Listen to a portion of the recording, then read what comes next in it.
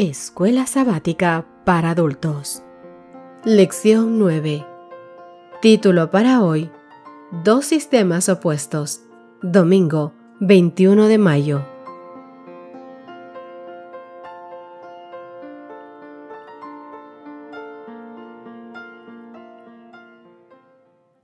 Leamos Apocalipsis capítulo 12 versos 17 y Apocalipsis 17 verso 14 ¿Cómo se describe aquí a la Iglesia de Dios y cuál es la reacción de Satanás frente a ella? Apocalipsis 12:17 Entonces el dragón se llenó de ira contra la mujer y se fue a hacer guerra contra el resto de la descendencia de ella, los que guardan los mandamientos de Dios y tienen el testimonio de Jesucristo. Apocalipsis 17:14 Pelearán contra el Cordero, y el Cordero los vencerá porque Él es el Señor de señores y el Rey de reyes, y los que están con Él son llamados elegidos y fieles. A lo largo de los siglos, Dios siempre ha tenido un pueblo que le ha sido fiel.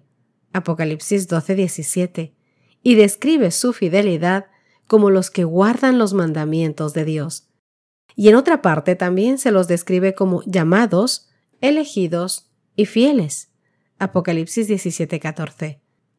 Leamos Apocalipsis 14:8 y 17:1 y 2.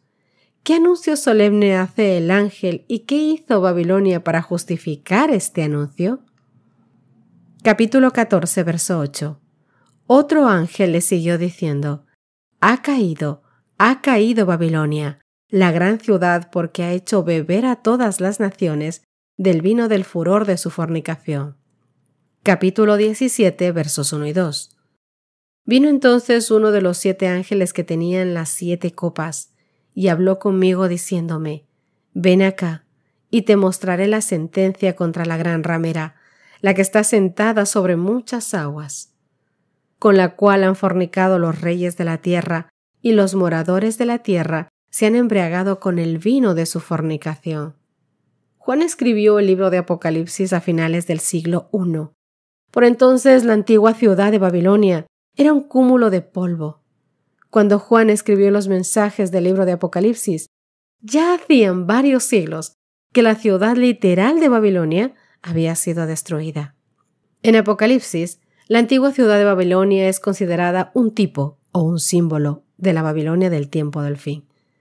En las profecías de Apocalipsis, Babilonia representa a un sistema religioso falso que tendrá características similares a la Babilonia del Antiguo Testamento. Los principios que guiaron a la antigua Babilonia serán la estructura que apunte a la Babilonia moderna y espiritual. En Apocalipsis capítulo 17 versos del 1 al 6, una mujer vestida de púrpura y escarlata avanza en forma resuelta sobre el escenario del tiempo. Esta mujer cabalga sobre una bestia de color escarlata. La Biblia la llama ramera. Ella ha dejado a su verdadero amor, que es Jesucristo. Aquí el apóstol Juan nos da una representación gráfica de un sistema religioso apóstata que tiene una poderosa influencia sobre el mundo. Presta atención a esta frase.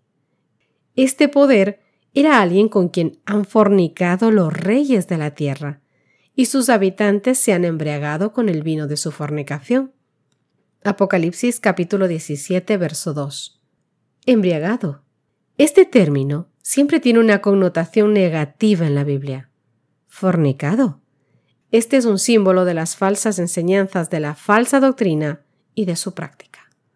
Tanto los dirigentes como la gente común se han visto influenciados negativamente por este poder. Dime, querido amigo, ¿cuál es nuestra única protección? Para contestar esta pregunta, te invitamos a que puedas leer Efesios capítulo 6, versos del 10 al 18.